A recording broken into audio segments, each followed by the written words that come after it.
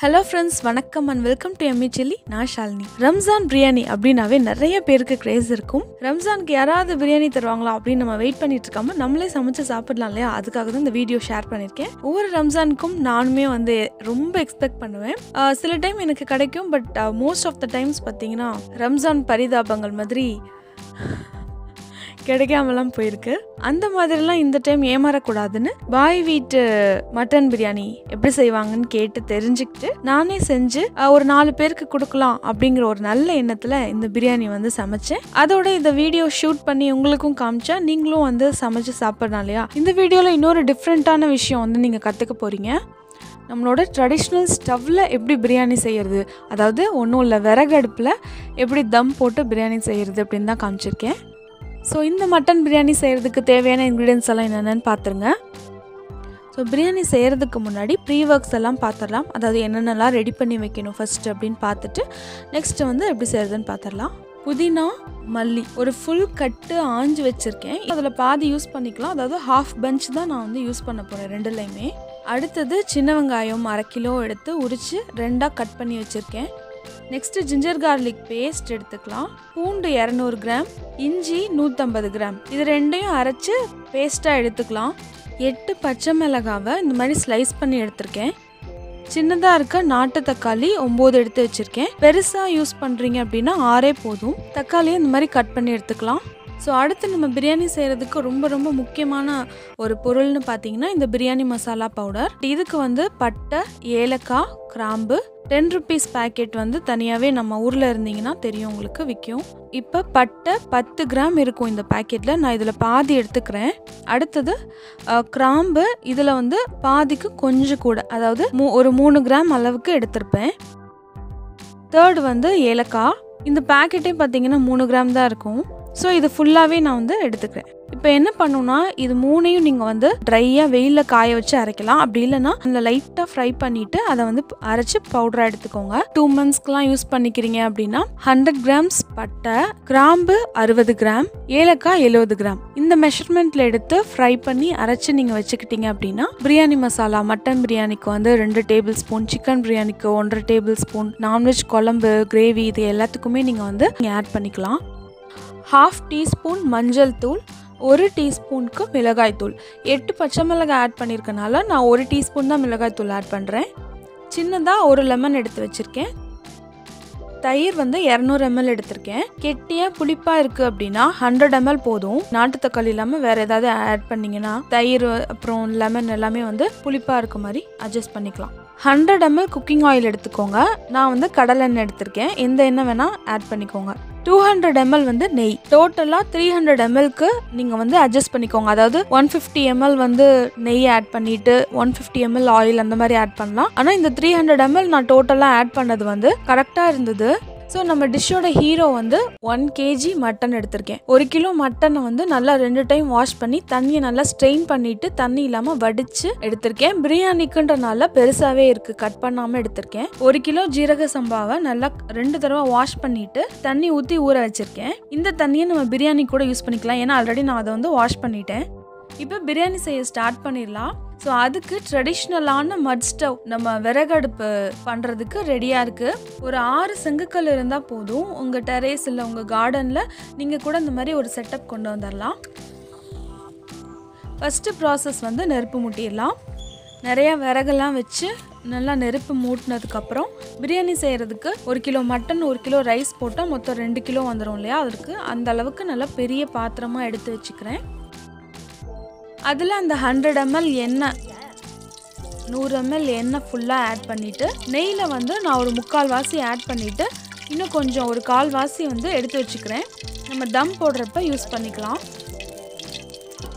So எண்ணெய் சூடானதுக்கப்புறம் ரெண்டாக கட் பண்ணி வச்சுருந்தோம்ல அந்த சின்ன வெங்காயத்தை நான் ஆட் பண்ணிக்கிறேன். நீங்கள் இதை இன்னும் நல்லா மெல்லிசு மெல்லிஸாக கூட கட் பண்ணலாம். நல்லா கோல்டன் ப்ரௌன் வர அளவுக்கு ஃப்ரை பண்ணுங்கள் நீங்கள் பெரிய வெங்காயம் யூஸ் பண்ணுறதா இருந்தால் அஞ்சு யூஸ் பண்ணிக்கோங்க. பட் வந்து பிரியாணிக்கு சின்ன வெங்காயம் போட்டிங்கன்னா இன்னும் நல்ல ஒரு டேஸ்ட் கொடுக்கும். ஆனால் உங்களுக்கு உரிக்கிறதுக்கு தான் லேட் ஆகும். நீங்கள் மொதல் நாளே கூட உரித்து வச்சுக்கிட்டிங்கன்னா உங்களுக்கு ஈஸியாக இருக்கும். பச்சை மிளகாவையும் அதோடையே சேர்த்து போட்டு ஃப்ரை பண்ணிக்கிறேன். பச்சை மிளகாய் கம்மியாக எடுத்துக்கிட்டிங்க அப்படின்னா மிளகாத்தூள் அதிகமாக எடுத்துக்கோங்க. ஸோ இப்போ வந்து சால்ட் ஆட் பண்ணிக்கிறேன். இதுலையே ஹாஃப் டேபிள் ஸ்பூன் ஆட் பண்ணியிருக்கேன் பிரியாணி பொறுத்த வரைக்கும் எந்த ஐட்டம் நம்ம ஆட் பண்ணாலும் ஃப்ரை பண்ணிக்கிட்டே இருங்க. அடியில் இல்லைன்னா பிடிச்சிரும். பிரியாணிக்கு முக்கியமான டிப்ஸே இதுதான். நல்லா வந்து ஃப்ரை ஆகணும் எல்லாமே. மட்டனே ஆட் பண்ணிக்கலாம் இப்போ. இந்த வெங்காயம் வந்து இன்னும் கொஞ்சம் கூட நல்லா ஃப்ரை ஆகணும். நீங்கள் வந்து இந்த ஸ்டேஜில் ஆட் பண்ணிடாதீங்க. இன்னும் நல்லா ஃப்ரை பண்ணிவிட்டு ஆட் பண்ணுங்கள் இது வந்து நான் ஒரு ஆன்டிகிட்ட கேட்டு கற்றுக்கிட்டு அதுக்கப்புறம் தான் நான் இந்த ரெசிபி பண்ணுறேன் அவங்க வந்து இந்த மாதிரி எண்ணெயிலேயே வந்து மட்டன் போட்டால் அதோடய டேஸ்ட் கொஞ்சம் நல்லாயிருக்கும் அப்படின்னு சொன்னாங்க. அதனால நான் வந்து இப்போ இந்த வெங்காயம் பச்சை மிளகாய் போட்டதுக்கப்புறம் மட்டனையும் போட்டு ஒரு அஞ்சு நிமிஷத்துக்கு சாட்டை பண்ணுறேன் ஒரு அஞ்சு நிமிஷம் கழித்து அது கொஞ்சம் அதுலேருந்து லிக்விட் விட ஆரம்பிக்கும். அப்போ வந்து இந்த இஞ்சி பூண்டு பேஸ்ட்டையும் ஆட் பண்ணிக்கலாம். இஞ்சி பூண்டு ஃப்ளேவர் வந்து ஒரு சிலருக்கு பிடிக்காது. அந்த மாதிரி இருக்கவங்க மட்டும் கொஞ்சம் கம்மி பண்ணிக்கலாம். வீ மற்றபடி இது வந்து கரெக்டாக தான் இருக்கும். இப்போ இந்த இஞ்சி பூண்டு பேஸ்ட் போட்டதுக்கப்புறம் நல்லா மிக்ஸ் பண்ணிவிட்டு ஒரு பத்து நிமிஷத்துக்கு அப்படியே விட்டுட்டேன். அதுலேருந்து பார்த்திங்கன்னா இந்த மட்டன்லேருந்து இன்னும் கொஞ்சம் நிறையா தண்ணி வந்து வந்திருக்கு. அதுவும் இல்லாமல் இந்த ஆயிலும் கொஞ்சம் பிரிஞ்சு வந்திருக்கு. ஸோ இந்த ஸ்டேஜில் நான் வந்து தக்காளி ஆட் பண்ணிக்கிறேன். அதே மாதிரி இது நாட்டு தக்காளின்றனால இதில் கொஞ்சம் புளிப்பு அதிகமாக தான் இருக்கும். நீங்கள் நாட்டு தக்காளி இல்லாமல் ஹைப்ரிட் அந்த மாதிரி வேறு ஏதாவது தக்காளி யூஸ் பண்ணிங்கன்னா புளிப்பு கம்மியாக இருக்கும். அப்படின்னா நீங்கள் வந்து லெமன்லாம் நல்லா பெருசாக எடுத்துக்கலாம். நல்லா கிளறி விட்டுட்டே இருங்க. இப்போ இந்த தக்காளியோட புதினாவையும் நான் ஆட் பண்ணிக்கிறேன்.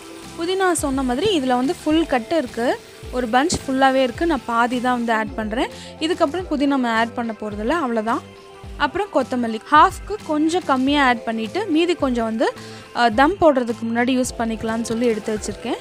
இப்போ நல்லா மிக்ஸ் பண்ணி விட்டுருங்க.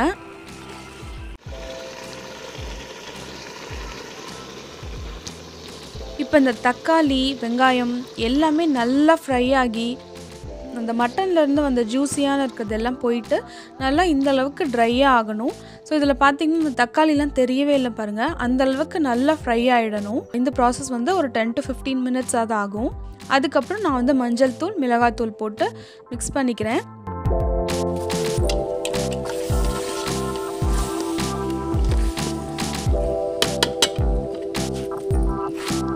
அப்புறம் நம்ம இந்த பட்டை கிராம்பு ஏலக்காய் பொடி வச்சுருந்தோம் இல்லையா? அதான் பிரியாணி மசாலா. ஸோ இதை போட்டுட்டு நல்லா வந்து மிக்ஸ் பண்ணிக்கலாம் இதையும். மஞ்சத்தூள் மிளகாத்தூள் பிரியாணி மசாலா மூணே ஆட் பண்ணதுக்கப்புறம் நம்ம தயிரையும் ஆட் பண்ணி ஒரு அஞ்சு நிமிஷம் வதக்கணும். நான் வந்து மறந்துட்டேன். தயிர் ஆட் பண்ணுற ஸ்டெப்பை ஸ்கிப் பண்ணிவிட்டு தண்ணி ஆட் பண்ணிட்டேன். தண்ணி எவ்வளோ ஆட் பண்ணியிருக்கேன்னா ஒரு கிலோ அரிசியை மெஷர் பண்ண அதே கப்பில் ஒரு கப் அளவுக்கு தண்ணி இப்போ ஆட் பண்ணியிருக்கேன் அண்ட் இது வந்து ஒன்றரை கப்பு ஸோ இந்த ரெண்டரை கப் தண்ணியை ஆட் பண்ணதுக்கப்புறம் மூடி போட்டு ஒரு ஃபிஃப்டீன் மினிட்ஸ் வந்து வேக விட்டுறலாம். மட்டன் பீஸ்லாம் நல்லா பெருசாக இருக்கனால அது வேகிறதுக்கு கொஞ்சம் டைம் எடுக்கும். கால் மணி நேரத்துக்கு அப்புறம் இப்போ பார்த்தீங்கன்னா மட்டன் கிட்டத்தட்ட ஒரு eighty to eighty five percentage அளவுக்கு நல்லா வெந்ததுக்கப்புறம் நான் ரைஸ் ஆட் பண்ணுறேன் யூஸ்வலாக ரைஸ் பாயில் பண்ணுறதுக்கு ஒரு கப் அரிசிக்கு ரெண்டரை மடங்கு வந்து நம்ம தண்ணி எடுப்போம். பட் பிரியாணியை பொறுத்த வரைக்கும் நம்ம ஒரு கப் அரிசிக்கு ரெண்டு கப்பு தான் நம்ம தண்ணி ஆட் பண்ணுவோம். இப்போ வந்து மட்டன் வேகணுன்றனால தான் நான் வந்து ஹாஃப் கப் எக்ஸ்ட்ரா ஆட் பண்ணியிருக்கேன் மட்டன் மட்டன் ஆல்ரெடி வேக வச்சிட்டிங்க அப்படின்னா ஒரு கப் ரைஸ்க்கு நீங்கள் வந்து ரெண்டு மடங்கு ஊற்றினாவே போதும். அதே மாதிரி இந்த ஜீரக சம்பா வந்து வேற டைப்பு அதனால இது தண்ணி வந்து ரெண்டு மடங்கு எடுக்கும் யூஸ்வலாக வந்து ஜீரக சம்பான்னு பார்த்தீங்கன்னா நல்ல மெல்லிஸாக இன்னும் மெல்லிஸாக இருக்கும். ஸோ அந்த ரைஸ்க்கு பார்த்தீங்கன்னா நீங்கள் ஒன்றரை கப் ஆட் பண்ணாவே போதும். புரிஞ்சிருக்கும்னு நினைக்கிறேன்.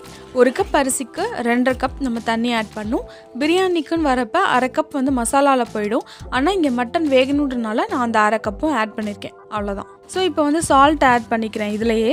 மொதல் ஒரு ஹாஃப் டேபிள் ஸ்பூன் ஆட் பண்ணியிருக்கேன் ஸோ மொத்தமாக ரெண்டு டேபிள் ஸ்பூன் அளவுக்கு உப்பு ஆட் பண்ணியிருக்கேன் ஸோ நான் முன்னாடியே சொன்ன மாதிரி அந்த மறந்த ஸ்டெப்பை வந்து நான் இப்போ பண்ணுறேன் தயிர் வந்து ஆட் பண்ணிக்கிறேன். ஆக்சுவலாக தயிர் இந்த டைமில் ஆட் பண்ணாதீங்க.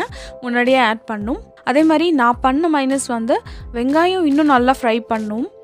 அதுக்கப்புறம் இந்த தயிர் வந்து அந்த ஃப்ரை ஆகிட்டுருக்க அந்த ஸ்பைசஸ்லாம் ஆட் பண்ணுற ஸ்டேஜ்லேயே ஆட் பண்ணியிருக்கணும் இந்த ரெண்டு மிஸ்டேக் நான் அதில் வந்து பண்ணியிருக்கேன் ஸோ அதை வந்து நீங்கள் பண்ணாதீங்க. ஸோ இப்போ இந்த அரிசி தயிர்லாம் ஊற்றுனதுக்கப்புறம் நல்லா கிளறிட்டு ஏழு நிமிஷத்துக்கு நான் மூடி வச்சிட்டேன்.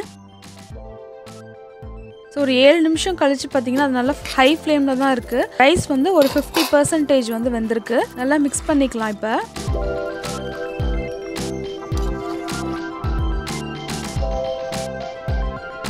திருப்பி நான் வந்து மூடி போட்டு வச்சுட்டேன். அடியில் அடிப்பிடிக்காமல் இருக்கணுன்றதுக்காக தான் இன்பிட்வீன் நான் கிளறினேன். இப்போ அதை ஓப்பன் பண்ணி அதில் வந்து அந்த ரிமைனிங் நம்ம வச்சுருந்தோம் இல்லையா நெய்யை அதையும் ஆட் பண்ணிவிட்டு லெமனையும் அது மேலேயே பிழிஞ்சிட்டு நல்லா வந்து மிக்ஸ் பண்ணிக்கிறேன். நீங்கள் கேஸ் ஸ்டவ்வில் தம் பிரியாணி பண்ணணும் அப்படின்னா தோசைக்கல்லை வந்து அடுப்பில் வச்சுருங்க. இந்த மட்டன்லாம் வெந்ததுக்கு அப்புறமா நீங்கள் தோசைக்கல்லை வச்சு சிம்மில் வச்சுருங்க ஸ்டவ்வை. அது மேலே நல்லா பிரியாணி கிளற மாதிரி நல்ல பெரிய பாத்திரமாக வச்சுட்டு அதில் வந்து இந்த மட்டன் அதுக்கப்புறம் மெஷர் பண்ணி தண்ணி அப்புறம் இந்த அரிசி எல்லாமே போட்டதுக்கப்புறம் மூடி வச்சுட்டு அது மேலே வந்து நீங்கள் சுடு தண்ணியை வந்து ஒரு பெரிய பாத்திரத்தில் நல்லா டைட்டாக க்ளோஸ் ஆகுற மாதிரி வச்சிங்க அப்படின்னா நீங்கள் கேஸ் ஸ்டவ்லையும் கூட தம் போடலாம். ஆனால் இந்த மாதிரி அடுப்பில் செய்கிறோன்னு வச்சுக்கோங்களேன் இது வந்து இதோட ஃப்ளேவர் வந்து நிஜமாகவே அதை விட இது ரொம்ப நல்லாயிருக்கும்.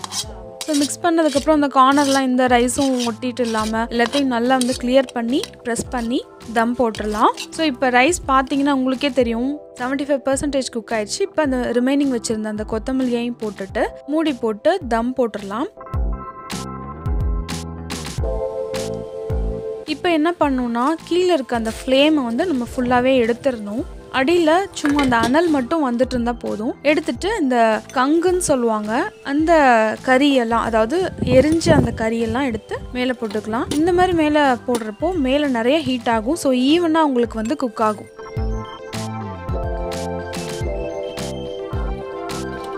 ஸோ இப்போ ஒரு டுவெண்ட்டி மினிட்ஸ் கழித்து நான் ஓப்பன் பண்ணுறேன் நல்ல மணமா பாய் வீட்டு பிரியாணி சூப்பராக ரெடியாக இருக்குது ஸோ அது வந்து அந்த டைம் வாசனை வரப்போ எங்களால் வந்து கண்ட்ரோல் பண்ணவே முடியல. செம்ம டெம்டிங்காக இருந்தது. நெய் மல்லி இலை எதுவுமே வந்து நான் எக்ஸ்ட்ரா எதுவும் ஆட் பண்ணல. எல்லாமே அந்த குவான்டிட்டி நான் போட்டது தான் பர்ஃபெக்டாக இருந்தது. ஸோ இந்த பிரியாணி வந்து சான்ஸே இல்லாமல் இருந்தது. ஸ்பைசியாக இது அதுன்னு என்னென்னமோ ஹோல் ஸ்பைசஸ் அதெல்லாம் போட்டெல்லாம் செய்கிறதெல்லாம் விட இந்த மாதிரி வந்து ஹோல் ஸ்பைசஸ் எதுவுமே நான் ஆட் பண்ணல பார்த்தீங்கன்னா இது அவ்வளோ டேஸ்ட்டாக இருந்தது. ஸோ இந்த ரம்ஜானுக்கு உங்கள் வீட்டில் கண்டிப்பாக இந்த பிரியாணியை ட்ரை பண்ணி சாப்பிட்டு எப்படி இருந்தது அப்படின்னு ஃபீட்பேக் கொடுங்க. ஸோ அதுதான் எனக்கு வந்து என்கரேஜ் பண்ணுற மாதிரி இருக்கும். அதே மாதிரி பார்த்துட்டு இருக்கவங்க ரம்ஜான் கொண்டாடுறீங்கன்னா உங்களால் முடியும் அப்படின்னா பிரியாணி எல்லாருக்குமே செஞ்சு கொடுங்க. இந்த பாய் வீட்டு பிரியாணி ரம்ஜான் பிரியாணி உங்களுக்கு கண்டிப்பாக பிடிச்சிருக்கும்னு நினைக்கிறேன். வீடியோ பிடிச்சிருந்தா லைக் பண்ணுங்க. உங்கள் ஃப்ரெண்ட்ஸ் அண்ட் ஃபேமிலிக்கு ஷேர் பண்ணுங்க. எம்மி சில்லி சேனலை சப்ஸ்கிரைப் பண்ணுங்க. பக்கத்தில் இருக்க நோட்டிஃபிகேஷன் பெல் ஐக்கானையும் ப்ரெஸ் பண்ணிருங்க. எல்லாருக்குமே வந்து ரம்ஜான் நல்வாழ்த்துக்கள். ஆரோக்கியமான உணவை அறுசுவையோட சாப்பிடுங்க. தேங்க்யூ